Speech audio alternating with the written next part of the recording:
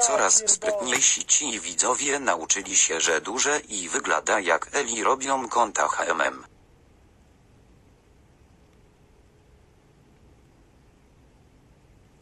Źle pojechałem. Na Mokotów. Nie no.